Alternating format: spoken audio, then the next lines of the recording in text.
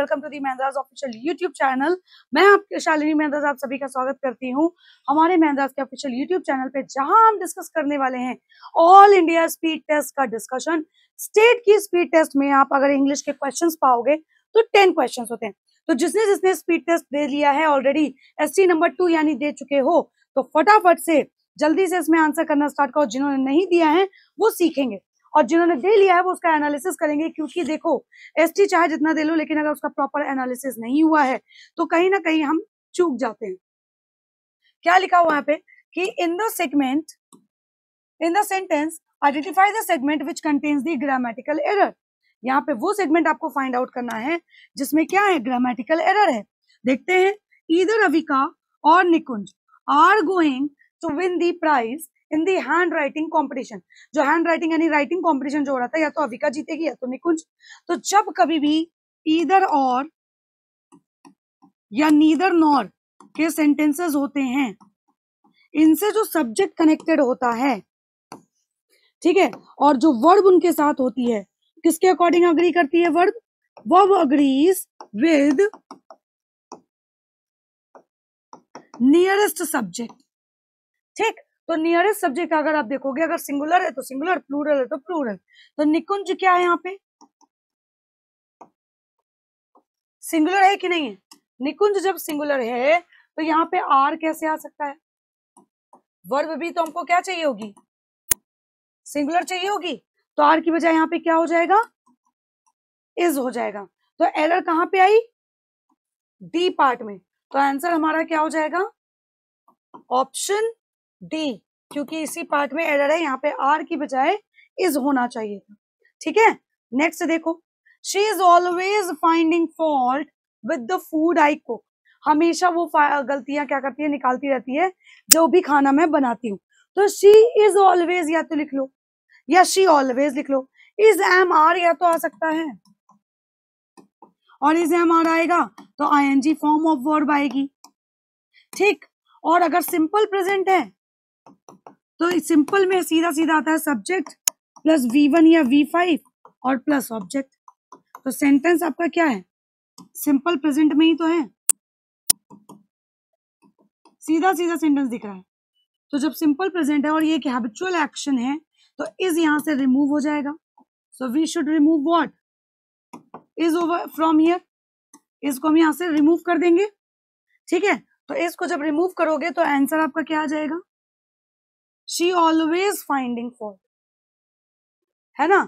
या she always find fault with the food I cook तो obviously यहाँ पे हमारा जो एरर हो जाएगा, वो क्या हो जाएगा answer option number D right चलो next now you have to select the most appropriate word to fill in the blank अब यहाँ पे ऑप्शंस आपको दिए हुए हैं। आपको करेक्ट वर्ड इसमें चूज़ करना है फिल करने के लिए। क्या लिखा है? There was a lot of rubbish on the floor बहुत ज़्यादा गंदगी थी कहाँ पे? फ्लोर में. सो आई आज संगीता, इसलिए मैंने संगीता से कहा to swipe them away is away it away या इट्स अवे तो देखो, जब रबिश की बात होती है rubbish is what rubbish is non living things मतलब जो गंदगी, कूड़ा, ये सारी चीज़ें होती है, वो क्या होती है? नॉन लिविंग थिंग्स होती है। तो जब ये नॉन लिविंग थिंग्स होती हैं तो इनके लिए ना दम हम लगाएँगे। इस वर्ड की ज़रूरत ही नहीं है इट्स होगा ही नहीं। तो यहाँ पे क्या हो जाएगा?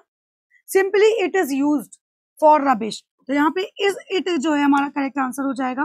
तो आंसर हम मार्क कर देंगे ऑप्शन नंबर सी क्योंकि non living things comes in neuter gender और न्यूटर जेंडर में हमेशा हम क्या लगाते हैं?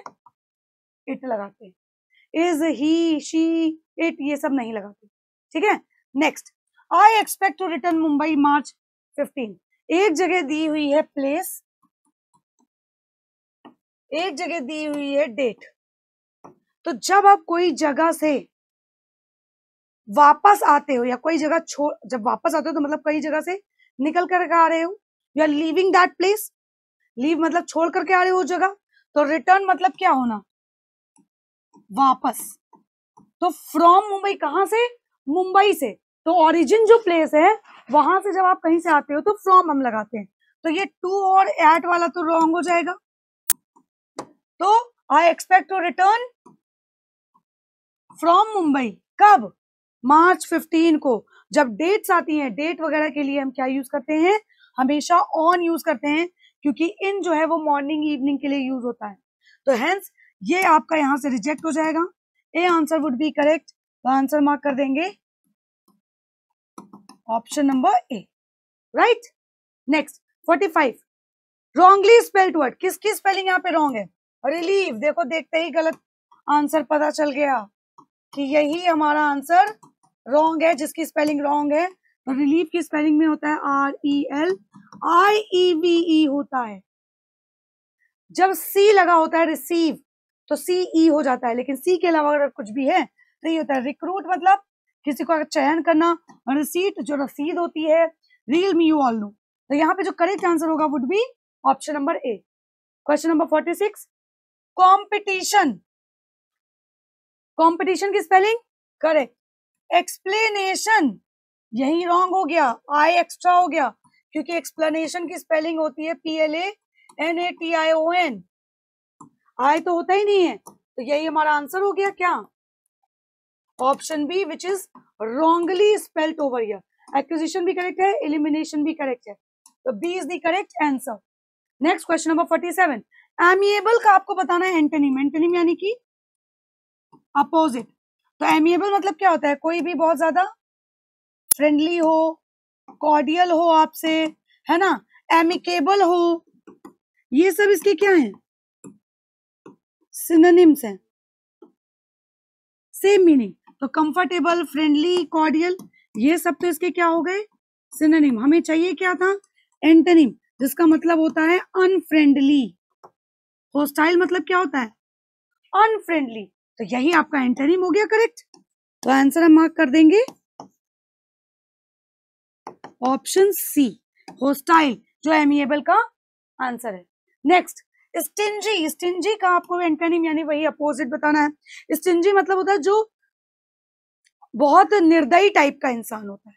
माइजर होता है है ना? क्या होता है? माइजर या अनजेनरस ठीक है? तो काइंड जेनरस मीन या माइजरली क्या होगा इसका करेक्ट आंसर तो जब आप इसका देखोगे ना तो अनजेनरस होता है तो जेनरस क्या हो जाएगा? इसका करेक्ट एंटनिम हो जाएगा। तो यही हमारा आंसर हो जाएगा ऑप्शन नंबर बी ठीक है? नेक्स्ट एक्यूरेट एक्यूरेट का मतलब होता है कोई चीज़ एकदम एग्जैक्ट हो। कहते ना एक्यूरेसी पे ध्यान दीजिए अपनी। तो एक्यूरेसी पे ध्यान देने का मतलब क्या हो गया? चीज़ें एकदम करेक्ट होनी चाहिए। तो सिनोनिम क्या हो जाएगा इसका? ऑब्वियसली प्रिसाइज हो जाएगा करेक्ट सिनोनिम तो यही हमारा आंसर हो जाएगा।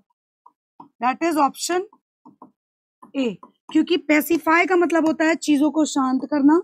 कंडेंस का मतलब कोई चीज़ जो बहुत ज़्यादा डेंस होती है ट्रुथफुल यू और नो तो correct answer is option number A last question velocity maths में बड़ा पढ़ा होगा। Velocity is related to what velocity is related to speed तो सीधा सीधा आंसर यहाँ पे लिखा हुआ है स्पीड यही हमारा आंसर हो जाएगा option C as the correct answer velocity, क्योंकि हरी मतलब होता है इन हेस्ट मैनर जल्दबाजी।